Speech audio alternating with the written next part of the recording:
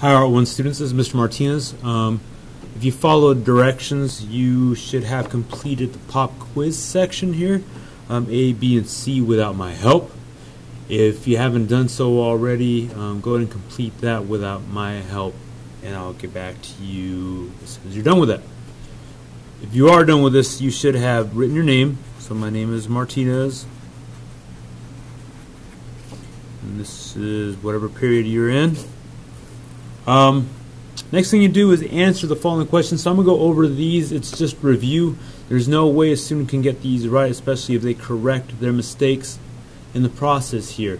So it says for A, oh, it says pop quiz, complete the following pop quiz before viewing the how to grid video. Um, A, draw a circle around all the shapes that are rectangles. So what I'm going to do here is find rectangles. If you remember to elementary uh, level, when, when we learned circles and triangles and squares and stuff, um, the teacher might have defined a rectangle as simply an object with four sides. This one has four sides, that one has four sides, that one has four sides, and even these guys have four sides. So you should have circled all four. All right, next one says draw a circle around all the shapes that are squares. Well, let's see. You have to think think way back to elementary again. Um, I know that squares have four sides, but what are other attributes that are squares? Well, this one for sure looks like a square. So you should have circled this one. I have students that have circled others, but we'll, we'll get back to that in just a minute after we define um, squares in our own words. So in C it says, in your own words, what is the definition of a square? So what separates it from rectangles? Um, it's an object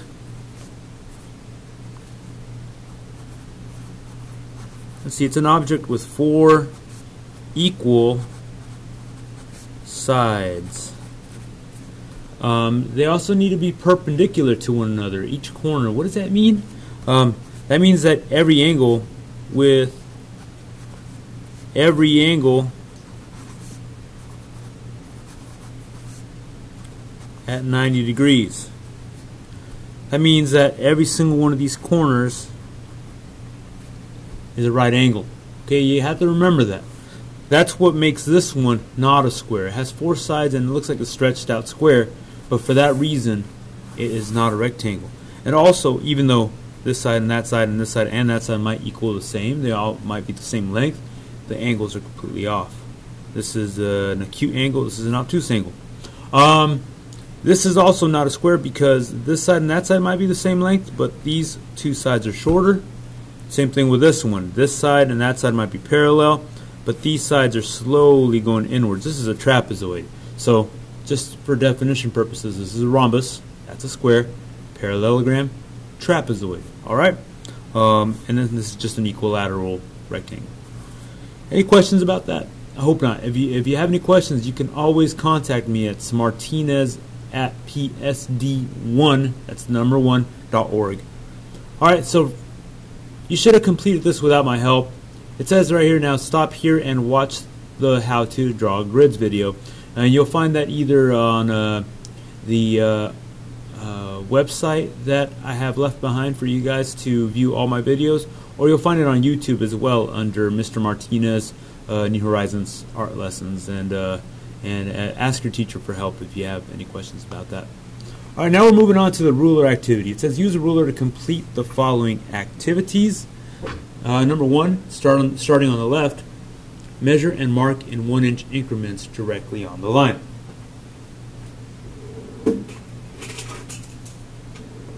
What you might see in my ruler drawer, which is located to the right of the sink, um, you're going to see a metal ruler or a plastic ruler. I'm going to use a plastic ruler. They're both about the same. Notice how this ruler starts right here. This is where your measuring starts. It doesn't start on this weird non-rectangular, non-flat edge. It starts right on that line with a zero on it. This ruler is about the same. Um, I'm going to try to zoom in here.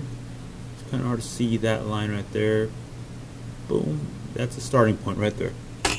It says starting on the left, which is right here, measure and mark in one inch increments. Notice how this line and that line one connects into the other it's kind of, let me bring the camera over there, it's not working There we go. It's a bit better. I want you to see what I'm seeing. So notice how this line is a continuation of that line. That's because that's my starting point. It says mark in one inch increments. I'll mark the one and the two. The best way to get this accurate is to hover your nose over the top of the number three, four, five, and the six is off the page, so you don't actually have to mark that. It's the one, two, three, four, five, six. Moving on. Starting on the left, measure and mark in half inch increments. Again, hover your nose over the top. Half. Half meaning 50 cents, half meaning 0.5. What's a half plus a half?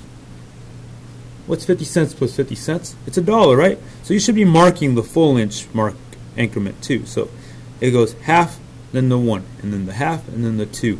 The only reason why I'm emphasizing that is because I have students that mark the half, and the half, and the half, and the half. But if you notice, this is a big gap. That's actually a one inch increment. You're just measuring, you're just marking the half inch marks. So you have to actually mark the half plus the half plus the half plus the half.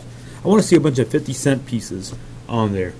Um, so you should have twice as many marks as in activity A. Activity C, back up a little bit so you can see this. Activity C says use a ruler to measure the following lines to the nearest one eighth of an inch. Okay, I'm going to put the ruler down like this, and that's about one, two, just about three inches. So I'm going to write down three inches right there. Okay, make sure that you're doing this on your own. I'm going to do that one for you, but then the next one you have to do on your own, and then the last one you have to do on your own as well. Remember, uh, you're marking to your nearest eighth. So these rulers are marked in sixteenths. These are the eighths. So if you counted them, start at the one, okay? One, two, three, four, five, six, seven, eight, nine, ten, eleven, twelve, thirteen, fourteen, fifteen. And the next line that gets you to the next inch is the 16th mark. So rulers are actually made typically in sixteenths. Some other rulers are marked in just eighths. So here's my one, and now we're going to count every two. One, two. So we're hopping every other one. Three, four, which is the middle. Five, six, seven, eight. You can count the slightly longer lines, and you end up with eight. So by counting to the nearest eighth, you could. It, let's pretend that this line ended here, I could say this is 2 and 1, 2, 3, 4, 5, 6, 7. 2 and 7 eighths. Alright, but it's a little longer than that. So we're not going to worry about that. I'm just giving you the opportunity to learn your ruler a little bit better. Alright, it's page 1. Page 2 says create a 1 inch grid by filling the entire rectangle below. So here we have a picture of uh, young Goku. So you're going to mark starting on the edge here. Okay my my zero should be the edge of this line. What you're going to do is mark in one inch increments. One two three four. The five is off the page. I'm still mark it. Okay. And most students would try to draw lines going downwards from here. I don't want you to do that um, because if you do that you might end up with a little bit of this action where your first line looks pretty good your second line looks a little off your next line is trying to work a little bit better here. And then your next line would be end up like that. So notice, those lines are not parallel. I, uh, there's no way you can get perfect squares. Remember, you want perfect squares, perfect right angles. But if once your lines start getting, going quicker, you're going to end up with trapezoids. You cannot have trapezoids if you want to draw something accurately. So I don't want this. What I want to see from you instead, want you to Okay, I'm going to repeat that process so you can see it. I'm going to mark the 1 and the 2 and the 3 and the 4 and the 5 just because. Then I'm going to drop down here and I'm going to do the exact same thing. I measured from left to right, so down here I'm going to measure from left to right. 3, 4, 5. And then I'm going to connect these. So I said left to right because if you flip this piece of paper over like some people like to do, they end up with uh, marks that do not line up with each other. Those of you who've already flipped over and made your marks, go ahead and try to connect them. You'll see what happens. They're not going to line up. You're going to end up with diagonal lines, meaning lines that are at a weird angle. So now I'm going to connect top line with the other line.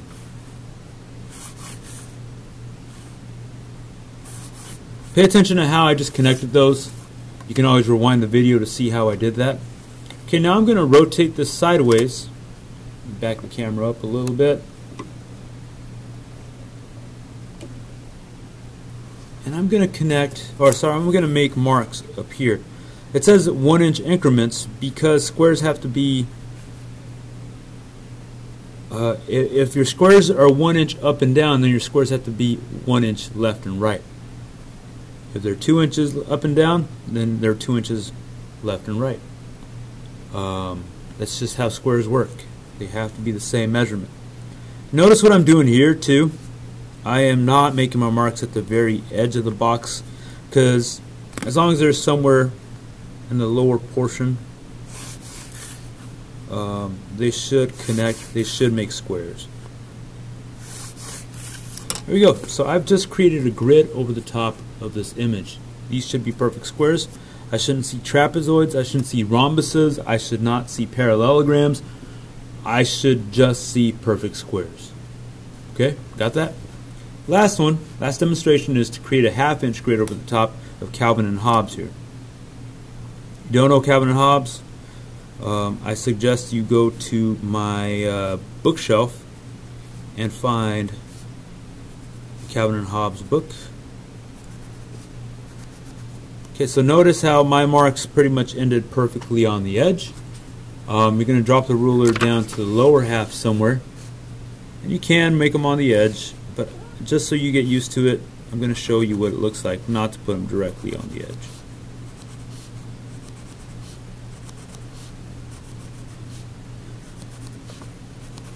Okay, I'm just about done here. This demonstration is just about over. Okay, so what I do want to show you is the rapid way to connect this. First, before I forget, if you can't see your lines through a certain imagery, you can use a thin point Sharpie or a pen. Um, just try not to blur out the image that you're trying to create. So if you're already working with a really with really tiny imagery, you don't want to use something that kind of blocks your view of what you're trying to see. So to connect these, I'm finding the first point with my writing utensil, just like that, putting it on top, bringing the ruler up to it, finding the lower point, and connecting. Ruler, sorry, writing utensil, ruler, line, connect. Writing utensil, ruler, line, connect. If you want to speed this process, if you hate drawing grids, this will speed up the process, and you'll probably do it um, about five times faster. Keep in mind that I'm also drawing all the way up to the edge. I'm noticing a lot of students not drawing their marks all the way to, to the edge. Your, your grid should be from beginning to end. So there's one, sorry, half, one, half, two, half, three, half, four, half, and then the five is at the bottom. Okay, now half, one, half, two, half, three, half, four, half, and then five at the bottom. And then make your connections. Here you go. One. So to repeat, pen, line, pen. So the reason why this is a lot faster is so you don't have to find this point and then the other point and then look up to realize that you're misaligned again, and then the other point, and then connect. That takes a long time because you're teetering and tottering until both lines are perfectly like little ants on a log. That takes a lot more effort than to simply put your pencil on the line and then just find one dot. Pencil on the line, bring the ruler up to it, find the other dot, connect. Pencil on the line, uh, hold on. Ruler, and connect. And there you have it. You got a perfect little grid over the top of Calvin and Hobbes. And then you can use this information. Uh, this grid is going to go over the top of your picture that you choose for your project. And you get to grid it and then transfer that information onto a larger piece of paper. All right, thank you.